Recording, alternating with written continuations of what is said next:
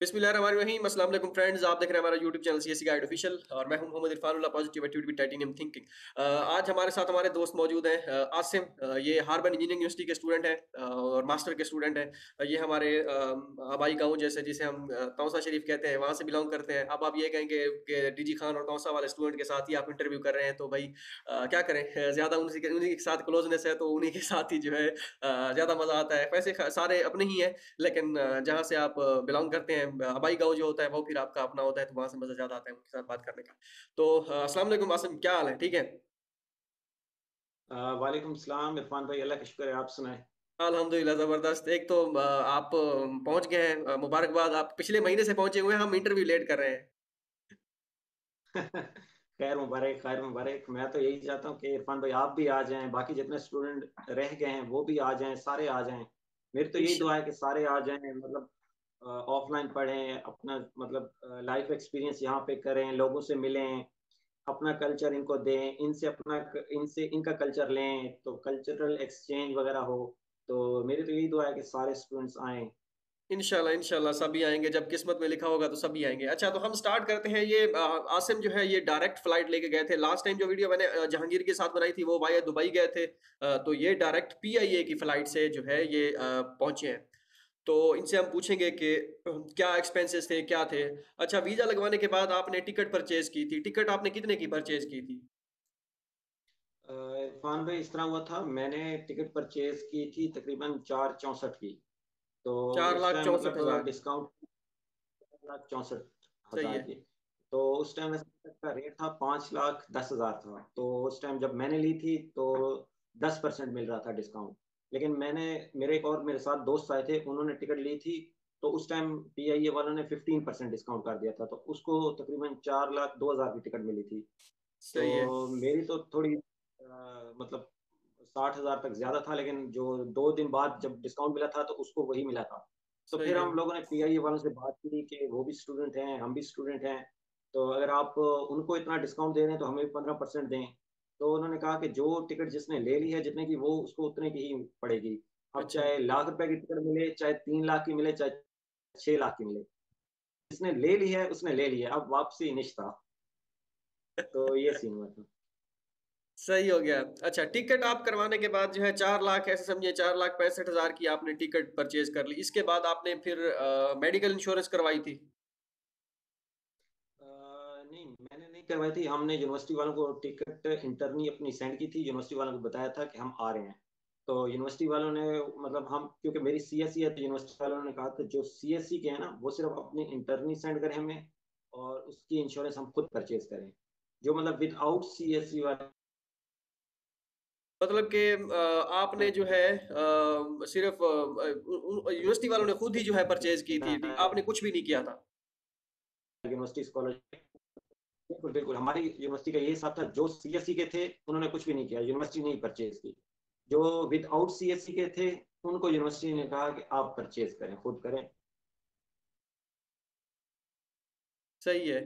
तो उन्होंने कि, उन्होंने कितने की परचेज की थी? उन्होंने 400 आरएमबी की परचेज की थी छह महीने के लिए। कोई है आइडिया इसका इतना खास आइडिया तो है नहीं क्योंकि मेरे जितने भी दोस्त थे हम सारे सीएससी वाले ही थे। तो अच्छा। हम में तो टीचर ने मतलब साफ़ पहले बोला था कि परचेज करनी है फिर हमने उनको दिखाया एडमिशन नोटिस हमने कहा कि हम तो सी एस सी के हैं हमारी नहीं है। तो उन्होंने फिर एक दिन बाद हमें रिप्लाई दिया कि नहीं आप सी एस सी के हैं तो आप परचेज ना करें आपकी हम खुद ही करेंगे।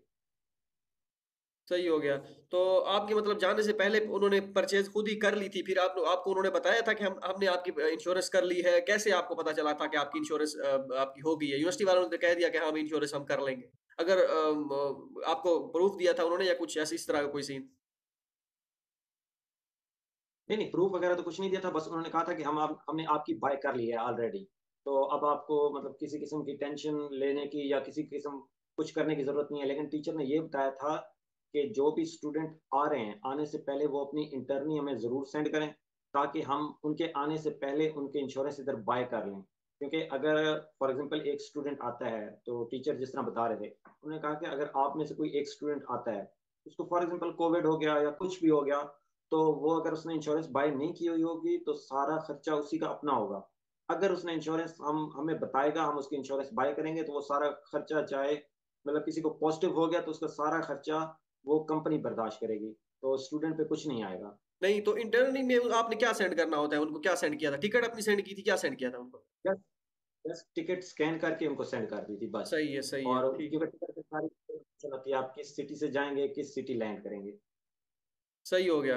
अच्छा टिकट आपने परचेज कर ली उसके बाद में इंश्योरेंस आपने तो नहीं करवाई जिन्होंने करवाई होगी वो छः चार सौ R M B I think आप करवानी होती है आठ सौ आर एम बी की चार सौ आर एम बी की छः महीने के लिए आठ सौ आर एम बी की साल की गालिबन होती है तो वो आप करवा लेंगे। इसके बाद आपने दो, दो पी सी आर टेस्ट करवाए होंगे पाकिस्तान में से और वो किन दो लैब से करवाए थे और अम, उनका कितना एक्सपेंसिस था आपका? जो मैंने करवाए थे वो मैंने एक करवाया था एक्सल लैब से इस्लामाबाद से। अच्छा। दूसरा मैंने करवाया था आईडी से वो भी इस्लामाबाद में ही था। तो पहला मैंने एक्सल से करवाया था दूसरा आईडीसी से करवाया था। मैंने एक्सल और आईडीसी इस वजह से चूज़ की क्योंकि इनकी रेपुटेशन थोड़ी अच्छी है as compare to other labs क्योंकि जब मैं टेस्ट करवाने गया तो एक्सल में एक्सल लैब में मतलब जो लोग अमेरिका जा रहे थे वो भी वहाँ से पीसीआर करवाने आए हुए थे। मतलब एक क्रेडिबिलिटी होती है एक मतलब आपको खुद भी श्योरिटी होती है और अगले जो चाइनीज़ हैं उनको भी होता है कि चलें मतलब एक रेपुटेशन वाली जगह से आपने कराया है। तो बाकी बहुत से मतलब दोस्तों को मैं इस तरह भी जानता हूँ जिन्होंने ग्लोबल से करवाया। मैं बहुत को ऐसों को जानता हूँ जिन्होंने मतलब अपनी सिटी से करवाया, लेकिन रिपोर्ट उनको इस्लामाबाद की मिली। तो ये वाला सीन भी था, लेकिन मैं तो खुद मतलब पर्सनली इस्लामाबाद गया था और वहाँ से मैंने मतलब दो करवाए थे टेस्ट एक पहला एक्सेल से करवाया था और दूसरा आईडीसी से करवाया था। ठीक है विद पहला within forty eight hours और दूसरा within twenty four hours करवाए थे। बिल्कुल इसी तरह। पहला जब आप टेस्ट करवाते हैं तो उस पे जो टाइम मेंशन होता है जब आप दूसरी लैब जाते हैं तो वो उस टाइम को देख के आपका आपको मतलब टाइम एडजस्ट कर देते हैं आपको उसका कोई इशू नहीं है। सही है और इसके बाद फिर आपने ग्रीन कोड के लिए अप्लाई किया था? बिल्कुल बिल्कुल इसके बाद मैंने ग्रीन कोड के लिए अप्लाई किया था और यहाँ पे मैं थोड़े से पॉइंट्स बताना चाहूँगा ग्रीन कोड से रिलेटेड तो इसमें तकरीबन मैंने तकरीबन दो बजे अप्लाई किया था तो मुझे तकरीबन दो घंटे तक ग्रीन कोड मिल गया था। जिस होटल में मैं इस्लामाबाद में ठहरा हुआ था वहाँ पे एक और लड़का लड़का भी था उसने रात को दस बजे अप्लाई किया ग्रीन कोड के लिए। अच्छा। उसको भी एक घंटे बाद ग्रीन कोड मिल गया। मतलब ये जिस तरह मतलब कुछ लोग कह रहे थे कि जल्दी अप्लाई करें फिर लेट नहीं मिलता ये है वो है। मेरे मतलब सामने की एग्जांपल है उस लड़के ने दस बजे अप्लाई किया उसको रात को दस बजे। और सुबह सात बजे फ़्लाइट थी और उसको ग्यारह कोड मिल गया। मतलब ये इस चीज़ का कोई इशू नहीं है। आप मतलब जिस टाइम भी कर लें कोई इशू नहीं है इसका। सही हो गया। दो पीसीआर टेस्ट करवाने के बाद और ग्रीन कोड लेने के बाद फिर आप लगेज का क्या सीन था? आप कितना लगेज आप डायरेक्ट फ़्लाइट में लेके गए थे वो पीआईए की जो शियान की जब आप लैंड हुए थे? लगेज जो मेरा मेरा लगेज था वो था फोर्टी के जी मतलब जो मेरी टिकट पे लिखा हुआ था फोर्टी के जी लेकिन कैरी के समय? दोस्त नहीं विदाउट हैंड कैरी अच्छा सही है। हैंड कैरी में सात के जी या टेन के जी नहीं हैंड कैरी चेक ही नहीं करते। वो आपके पास कितना है कितना नहीं है अच्छा। वो चेक ही नहीं करते हैंड सही है सही है। सिर्फ़ बैग चेक करते हैं। तो मेरा तो तकरीबन थर्टी फाइव के जी बना था और फिर दो बैग मैंने हैंड कैरी में रखे थे। मतलब एक लैपटॉप वाला था एक और था। तो ये दो बैग मैंने हैंड कैरी में रखे थे बाकी लगेज में किया। मैंने अच्छा तो आप खाना अपना कुछ साथ ड्राई फ्रूट्स वगैरह इस तरह की कोई चीज़ें लेके गए थे या बस एवं ही चल सो चल? नहीं नहीं, इस तरह नहीं किया था। मैं ड्राई फ्रूट्स अपने साथ लेके गया था। मतलब ड्राई फ्रूट्स थे और बिस्किट्स वगैरह और निमको वगैरह इस तरह की चीज़ें मैं साथ लेके गया था। लेकिन शियान में मेरी ये चीज़ें यूज़ नहीं हुई। वहाँ पे इतनी ज़्यादा यूज़ नहीं वो फिर मुझे हर दिन में ज़रूरत पड़ी थी। सही है। अच्छा तो अब जब आप यहाँ से सारा कुछ कराने के बाद पाकिस्तान से आप जब डिपार्चर हुए, अब जब शियान पहुँचे, वहाँ पे क्या सीन था? वहाँ पे आपने जाके वो ग्रीन कोड दिखाया उनको, ये क्या सीन था? वहाँ पे अपना बताएँ। जी जी। जब हम जिस तरह शियान एयरपोर्ट पे उतरे तो उनके मतलब चाइनीज़ ऑफिशियल्स आ गए प्लेन के अंदर। तो उन्होंने कहा कि सिक्सटी सिक्सटी करके हम निकालेंगे। मतलब फ़र्स्ट सिक्सटी जाएँगे, फिर बाद में फिर सिक्सटी जाएँगे, फिर बाद में फिर सिक्सटी जाएँगे। तो क्योंकि मैं आगे बैठा था तो मेरा फ़र्स्ट सिक्सटी में आया तो मैं चला गया। तो उन्होंने ये कहा था कि वाशरूम वगैरह जिसने बैठना है वो यहीं प्लेन में बैठ ले एयरपोर्ट पे हमने कहीं इधर उधर नहीं जाने देना। अच्छा। और दूसरी चीज़ हाँ जी दूसरी चीज़ जैसे हम गए मतलब वहाँ हमारे अलावा कोई और नहीं था सिर्फ़ पाकिस्तानी स्टूडेंट्स ही थे। पता नहीं शायद उन्होंने हमारा कोई अलग से वे बनाया हुआ था या जो भी सिस्टम था। तो वहाँ मतलब प्रोसेस बहुत फास्ट हुआ। तकरीबन आधे घंटे के अंदर हम बस तक पहुँच गए थे, जो बस हमें लेके जाती है एयरपोर्ट से होटल हमारे। तकरीबन वो प्रोसेस उन्होंने बहुत जल्दी किया और वहाँ पे उन्होंने एक एडमिशन नोटिस चेक किया था और दूसरा यूनिवर्सिटी का आपका किसी टीचर का या सुपरवाइज़र का वो कॉन्टैक्ट नंबर वो लाज़मी ले रहे थे। सही है। और दूसरी एक चीज़ मैं पीछे बताना भूल गया करेंसी के हवाले से, करेंसी हाँ, करेंसी एक्सचेंज वो आप कितनी साथ लेके गए थे? बिल्कुल। मैंने तकरीबन 5000 तक मैंने ऑनलाइन बाय की थी मतलब जो ऑनलाइन होती है, वो मैंने मतलब किसी एजेंट से बाय करके अपने किसी दोस्त के अकाउंट में ट्रांसफ़र कर दी थी चाइना में। था वो दोस्त। उसका फ़ायदा ये जी, बिल्कुल चाइना में था। उसका फ़ायदा ये है कि आप जब क्वारंटाइन में होते हैं तो आप बाहर नहीं जा सकते, ना कोई आपसे मिल सकता है, ना कुछ क्योंकि आपने सिम बाय करनी होती है, फिर अपने सिटी के लिए टिकट बाय करनी होती है और दूसरा वो इस तरह की बहुत सी चीज़ें होती हैं जो ऑनलाइन हो सकती हैं सिर्फ़ और बाकी कैश वहाँ इतनी ज़रूरत नहीं पड़ती। तो मैंने 5000 दोस्त को दिए थे, बाकी अपने साथ में ₹1 भी नहीं लेके गया। अच्छा, नहीं आपका दोस्त था जिस जिनके दोस्त ना हो उनका क्या होगा? वो फिर खुद ही लेके जाएँगे कितना एक लेके जाए वो अपना? अच्छा आप ये 5000 आप तक ऐसा समझिए अच्छा वो कितना लेके जाएँ 2-3000 आरएमबी 4000 आरएमबी कितना मिनिमम या मैक्सिमम? मिनिमम पाँच से 6000 होना चाहिए। 5 से 6000 ठीक है। अच्छा जब आप होटल में गए थे वहाँ पे क्वारंटाइन का जो है वहाँ पे आपका क्या एक्सपेंसेस था? एक्सपेंस थे पर डे के हिसाब से खाना शामिल था या नहीं था? उसका क्या सीन था शियान में? शियान में वो मैं बात बताता हूँ, ये करेंसी के हवाले से एक और पॉइंट मेरे माइंड में आया, मैं वो बताना चाहता हूँ। जी, जी। उसमें ये है कि करेंसी में अपने साथ मतलब एक लाख रुपए लेके गया था पाकिस्तानी में, यही सोच के गया था कि चले मैं एयरपोर्ट पे जाऊँगा, एक्सचेंज करा लूँगा। तो एयरपोर्ट पे एक्सचेंज मिल ही नहीं रही थी। बिल्कुल। तो फिर शुक्र है फैमिली वाले बाहर खड़े थे, मैंने जाके उनको वापस कर दिए। मुझे एक और दोस्त मतलब लड़का कह रहा था कि यहाँ से चलो नहीं होगा तो चाइना ले चलते हैं, वहाँ से कराएँगे। लेकिन शुक्र है कि मैं नहीं ले आया, मैं ऐसे ही निकल आया, अगर मैं चाइना ले आता तो मेरे किसी काम के नहीं थे क्योंकि जब चाइना वालों ने हमें कहीं इधर-उधर जाने भी नहीं दिया, मतलब इधर-उधर कहीं जाने भी नहीं दिया तो हम करेंसी एक्सचेंज कहाँ से कराते? और दूसरी चीज़ कुछ कुछ होटल्स वाले डॉलर्स भी एक्सेप्ट नहीं कर रहे थे, वो कह रहे थे कि हमें सिर्फ़ आरएमबी ही चाहिए, तो हम डॉलर भी नहीं लेंगे। तो ये अपने मतलब मेक श्योर कर लें कि आपके पास आरएमबी हो, चाहे ऑनलाइन में हो, चाहे कैश में हो, लेकिन होने आरएमबी ही चाहिए। सही है। तो कितना एक्सपेंस था आपका पर डे के हिसाब थे? मेरा हमसे होटल वालों ने लिए थे पैंतीस सौ पचास सात दिन के?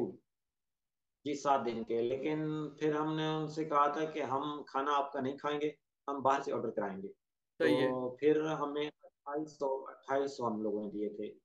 सही है। खाना इसके अलावा था, खाना हम बाहर एक टर्किश रेस्टोरेंट है, वहाँ से ऑर्डर करवाया था। वो जो खाने के लिए आपके पैसे जो आपने वो दिए थे, वो फिर आपके दोस्त ने वो उनको वीचैट के थ्रू से थ्रू सेंड किए थे? आपके पास थे कुछ नहीं, ऐसे ही है? बिल्कुल, बिल्कुल। बिल बिल्कुल, बिल्कुल। ये हमारे मतलब एक दिन निकलने से पहले होटल में एक दिन निकलने से पहले वो जो 700 आरएमबी थे वो उन्होंने रिफंड कर दिए थे उसको। और जो आपने बाहर से खाना मँगाया था जी, जी, जो हमने बाहर से खाना मँगवाया उसमें 500 आरएमबी लगा था मैक्सिमम। सही है। तो आपने जाते साथ ही उनको पैसे दिए थे होटल में जब एंटर हुए थे, उसी वक़्त आपने सारे पे कर दिए थे वो जो होटल के चार्जेज़ थे क्वारंटाइन के 7 दिन के? बिल्कुल, बिल्कुल, जो हमारे वाले होटल थे जो शियान में 2 एक तो मेरा जो होटल था वो स्विस टचेज़ था और दूसरा मेरा एक दोस्त और में था उसका हिल्टन था। उन लोगों ने उनसे 5000 लिए थे मतलब एक्स्ट्रा भी ले लिए थे सिक्योरिटी वगैरह जो भी है। और लेकिन हम लोगों से 3500 लिए थे, लेकिन हम लोगों से पहले पैसे ले रहे थे, फिर अंदर जाने दे रहे थे होटल में। अच्छा, लेकिन मेरा एक और दोस्त चंदू में आया, वो तीन दिन अंदर होटल में रहा, उससे पैसे ही नहीं पूछे उन्होंने। चौथे दिन जाकर उनको कहा कि आप पैसे पे करवाएँगे।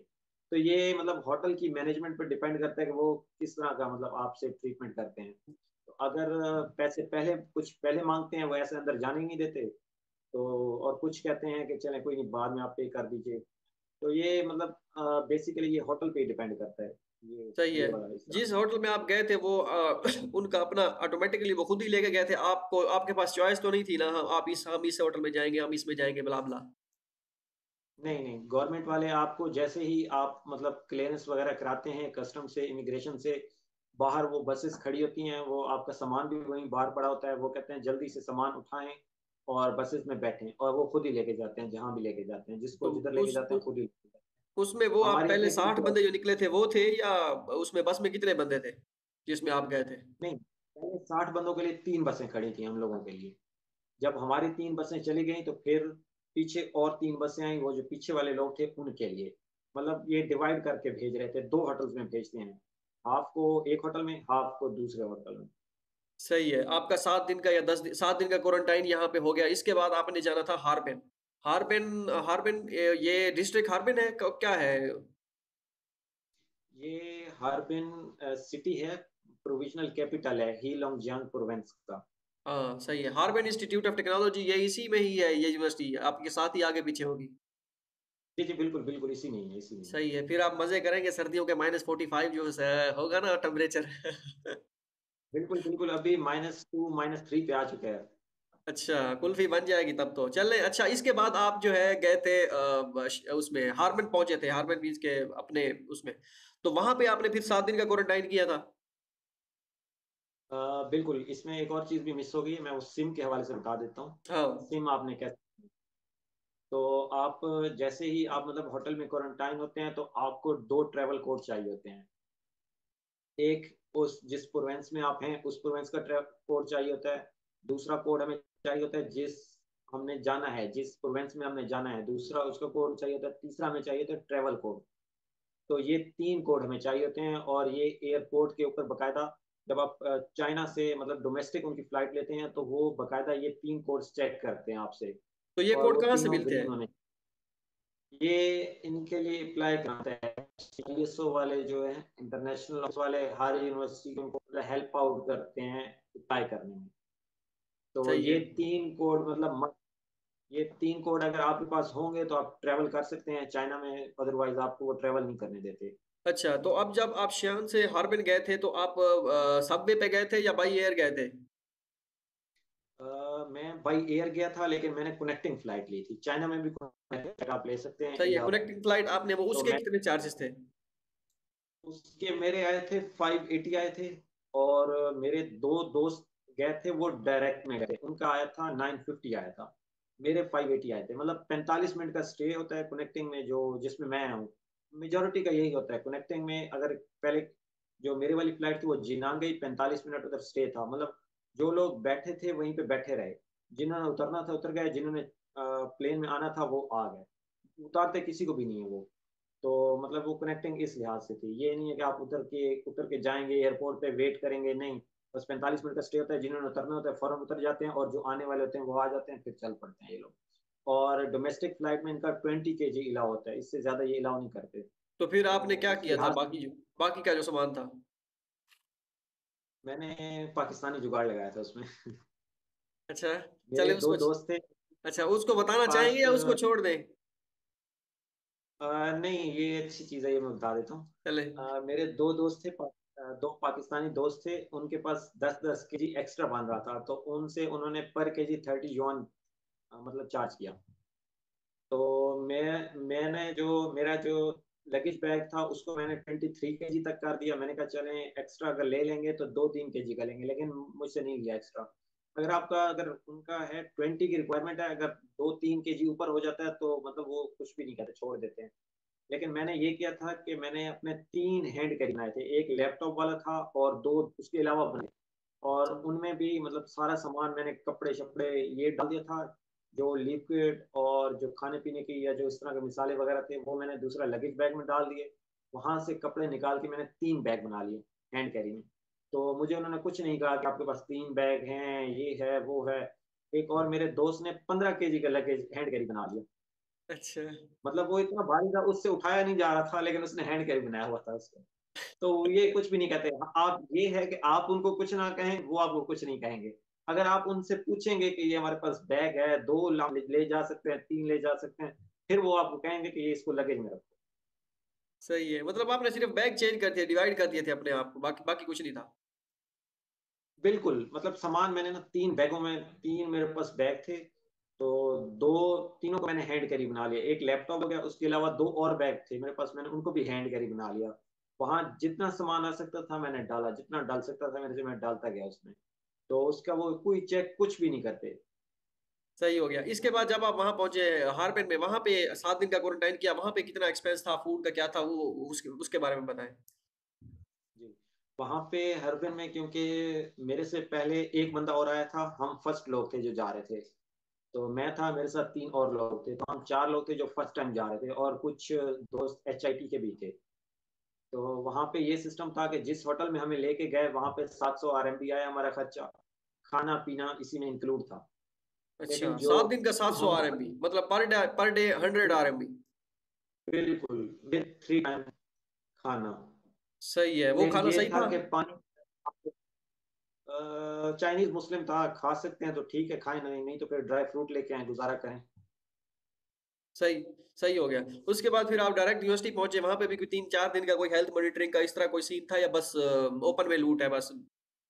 जाओ जाओ नहीं, नहीं ओपन वाली इधर ओपन वाली लूट नहीं थी। अच्छा। जो था जो जो अब जो अब जो हीलोंग जियांग प्रोविंस में हमारे बाद मतलब जो लोग आए तो उनसे भी इन्होंने तेईस सौ चार्ज करना शुरू कर दिया। हमसे सात सौ लिया था अच्छा। लेकिन जो हमारे बाद आए हमसे दो दिन बाद एक बंगाली आया उससे तेईस सौ लिया फिर पाकिस्तानी आए उनसे भी तेईस सौ ले रहे हैं। तो उन लोगों ने पूछा कि जो पहले रह के गए थे उनसे आपने सात सौ क्यों लिया हमसे क्यों ले रहे हैं? तो उन्होंने कहा कि गवर्नमेंट की पॉलिसी है गवर्नमेंट ने चेंज कर दी है होटल वालों ने कहा हम कुछ नहीं कर सकते। तो ये चीज़ होती है। सही हो गया सही हो गया। अब मतलब वहाँ पे आपकी क्लासेस वगैरह सारा कुछ स्टार्ट हो गया अब कुछ सारा कुछ ओके है कोई मसला नहीं है। बिल्कुल फ़िलहाल तो कोई इशू नहीं है। दूसरा आप बात कर रहे थे कि यूनिवर्सिटी मॉनिटरिंग मॉनिटरिंग की। तो सात दिन मतलब होटल में किया वो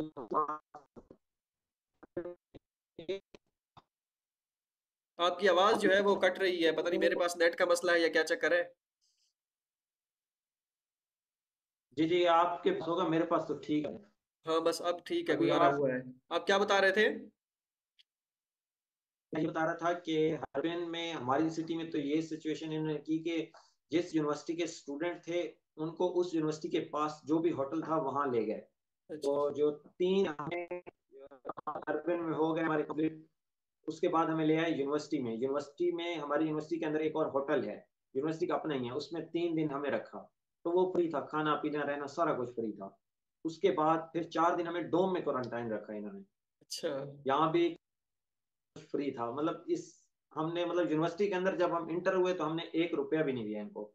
सही है बस तो सात दिन की कैद सात दिन की कैद थी बाकी सारा कुछ फ्री था। बाकी सिर्फ़ कैद कैद थी बाकी सारा कुछ नॉर्मल था। अच्छा इसके बाद जब आप फिर यूनिवर्सिटी गए फ़िज़िकल रजिस्ट्रेशन आपने करवा ली फिर कितने दिन के बाद आपने रेजिडेंस परमिट के लिए अप्लाई किया और वो जो है क्या सीन था? कितने आपके वो जो है उसके चार्जेस आए थे? मेडिकल वगैरह का क्या सीन था? मेडिकल दोबारा करवाया था आपने वहाँ जाके? जी ये ये था कि पहले तो जैसे ही हम इधर से फ्री हुए तो हम लोग गए यूनिवर्सिटी का कार्ड अप्लाई किया क्योंकि सारा सिस्टम उस पर ही होता है। सही है। तो जब हम सिम लेने गए तो सिम वाले कह रहे थे कि स्टूडेंट कार्ड लें उसके बगैर सिम नहीं देंगे। तो कार्ड भी हमारे दो दिन बाद बना उसके बाद सिम ली। सिम के बाद तो मैं अपनी आपकी बात काट रहा हूँ जो पहले सिम आपने ली थी वो फारिग। नहीं वो भी आप यूज़ कर सकते हैं लेकिन वो बहुत एक्सपेंसिव होती है। अच्छा मतलब उसमें आपको तकरीबन 140 युआन का पैकेज लगता है। 140 युआन का और मिलता भी है कोई 60 जीबी या 50 जीबी। जो पैकेज सिम होती है उसमें मतलब 39 युआन में आपको तकरीबन एक सौ पचास जीबी मिलता है पर मंथ। सही, सही है तो यूनिवर्सिटी में आपकी कितनी थी?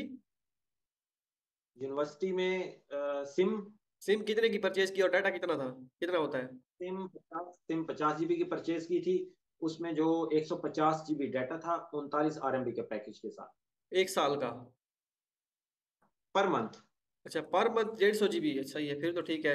फिर भी ये मेरे जैसा बंदा तो दस पंद्रह दिनों में खत्म कर जाएगा। लेकिन फिर भी अच्छा है। और बाकी इसके बाद फिर आप फ़िज़िकल मेडिकल आपने दोबारा करवाया था? बिल्कुल बिल्कुल। हम लोगों ने मेडिकल दोबारा करवाया था क्योंकि यहाँ पे अब क्या कहें कुछ हमारे दोस्त ऐसे होते हैं जो कह देते हैं कि पाकिस्तान से दो नंबर बनवा के आते हैं मेडिकल हम्म। तो वो फिर यूनिवर्सिटी वालों ने कहा कि करवाएँगे फिर हम एक्सेप्टेबल करेंगे ऐसे नहीं करेंगे। तो फिर मतलब अकोपेंचर सेंटर वाला भी नहीं मान रहे थे।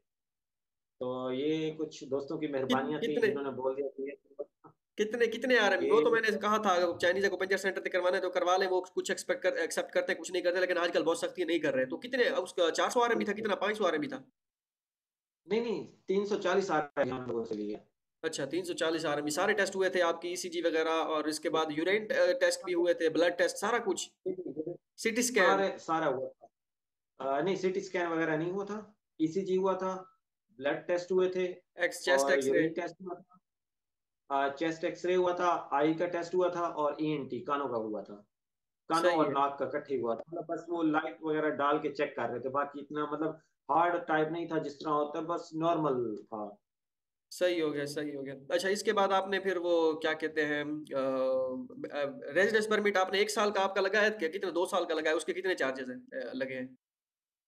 मेरा तो क्योंकि एक साल ही रहता है एक साल से भी कम रहता है हाँ सही है। तो मेरे से तो जी बिल्कुल जिस दिन हमने मेडिकल करवाया उसी दिन ही हम चले गए थे रेजिडेंस परमिट के लिए तो उस उसी दिन अप्लाई किया और 400 आरएमबी लिया था मेरे से जिनका दो साल का था उनसे 800 आरएमबी ले रहे थे।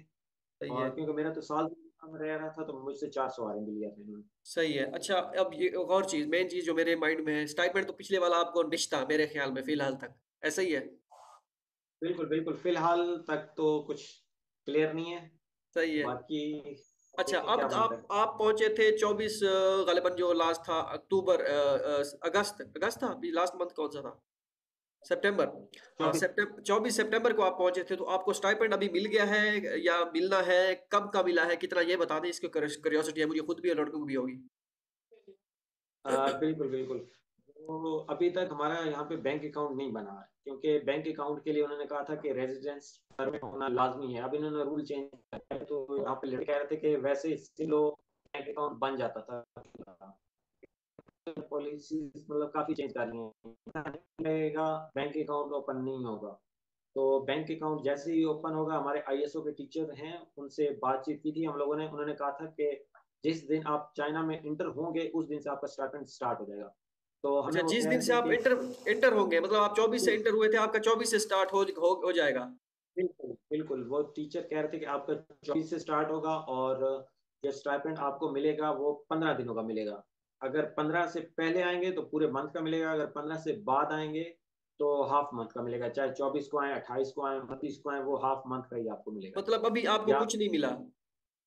बिल्कुल बिल्कुल वो कह रहे थे कि अगले महीने जब जैसे ही हमारा बैंक अकाउंट बनेगा तो हम आईएसओ वाले टीचर को अपना सारी डिटेल्स वो कह पाँच नवंबर को वो हमें मतलब अक्टूबर का सितंबर का हाफ़ और नवंबर का एडवांस में देंगे। मतलब सही है। मंथ हमें एक साथ देंगे। सही है मतलब आपने फिर आप आपके पास पैसे वही जो आपने दोस्त को सेंड किए थे उसमें कुछ बच गए थे वो आप उसी के साथ सरवाइव कर रहे हैं क्या सीन है? बिल्कुल बिल्कुल फ़िलहाल तो उसी से चल रहा है नहीं तो कम हो गया तो कोई उधार वगैरह ले लेंगे क्योंकि अभी दूसरा दिन भी थोड़े से ही रह गए हैं तो अपना भी मिल जाएगा इंशाल्लाह। बैंक अकाउंट अभी तक आपका नहीं बना? कितने दिनों में बनेगा? बैंक अकाउंट वो तो दो दिन में बन जाता है उसका इशू नहीं है। जैसे ही रेजिडेंस परमिट आएगा उसके बाद हम बैंक अकाउंट के लिए अप्लाई करेंगे वो एक दो दिन में बन जाता है उसका इशू नहीं है। लेकिन इस दफ़ा इन्होंने ना पॉलिसीज़ थोड़ी बहुत चेंज की हैं लाइक सिम कार्ड जैसे नहीं दे रहे थे स्टूडेंट कार्ड के स्टूडेंट कार्ड दूसरा वो कह रहे थे कि जैस जब तक बैंक वाले कह रहे थे कि जब तक वो रेजिडेंस परमिट की कॉपी वगैरह आप सबमिट नहीं करवाएँगे तो आपका अकाउंट नहीं ओपन होगा। तो हो पहले लड़के जिस सिम हो आपके पास सिम हो तो आपका अकाउंट बन जाता था। रेजिडेंस परमिट बाद में लगता रहे। सही है। लेकिन अब इस दफ़ा उन्होंने चेंज किया। सही हो गया। मतलब कि अब आपको जो है पंद्रह सौ आर पहले वाला मिलेगा और आपको तीन हज़ार आर एम बी ये पैंतालीस सौ आर एम बी मिल जाएगा। नहीं तीन हज़ार और एडवांस भी मिलेगा। अच्छा। नवंबर का एडवांस में भी देंगे। अच्छा सही है सही है सही हो गया। तो बस यही थी मेरे ख्याल में। जी जी। नवंबर का एडवांस नवंबर का एडवांस में अक्टूबर का तो वैसे ही देंगे और सितंबर का हाफ़ देंगे। सही है ये हो गया पिछहत्तर सौ आर एम बी गालिबन तो बिल्कुल बिल्कुल। सही है आपका कोटा पूरा होता है लेकिन ये तो टिकट के पैसे बड़ी मुश्किल से निकलेंगे अभी तो रिकवरी बहुत बाकी है। बिल्कुल बिल्कुल इंशाल्लाह रिकवरी हो जाएगी जब तक डिग्री के पास जाएँगे तो सारी रिकवरी हो जाएगी। हाँ इंशाल्लाह अल्लाह खैर करेगा। चले बंडल ऑफ़ थैंक्स आपके टाइम देने का शुक्रिया आसिम इंशाल्लाह फिर गपशप लगाते हैं। तो मिलते हैं नेक्स्ट वीडियो में। थैंक्स आपका। बहुत बहुत शुक्रिया आपने मतलब इतना टाइम दिया आपने आप का प्यार ही है, बस जो हम इधर बैठे हैं, नहीं तो हम वहीं पाकिस्तान में बैठे होते हैं। हम मतलब आपकी वीडियोस वगैरह देख के ही सारा कुछ बंदे में मतलब एक पॉजिटिविटी आती है, बंदा अपने आप को इनक्रेज करता है कि नहीं यार, कुछ करना है, कुछ आगे जाना है। तो मेरी यही दुआ है कि बाकी जितने भी दोस्त पाकिस्तान में सारे आ जाएँ। और अगर आप तो मेरे ख्याल में कनेक्टिंग भी लाओ हो गई है तो कनेक्टिंग के थ्रू आ जाएँ।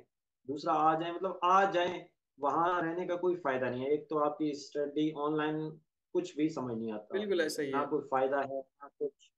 और दूसरा आप जितना लेट करेंगे अपना स्टाइपेंड आपका वेस्ट होता जाएगा। वो आपको ये नहीं देंगे। तो मैं तो यही सजेस्ट करूँगा कि जितना जल्दी हो आ जाएँ ताकि अपना इधर स्टडी भी करें दूसरा अपना स्टाइपेंड भी जो मिलता है वो भी लें। तो बाकी मतलब एक बंदे को सीखने सीखने को भी इधर बड़ी चीज़ें मिलती हैं।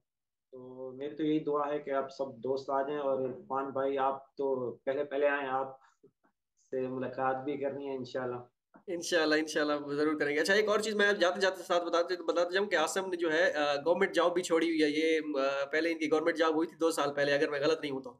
तो इसने वो छोड़ दी थी इसी चाइना स्कॉलरशिप के चक्कर में।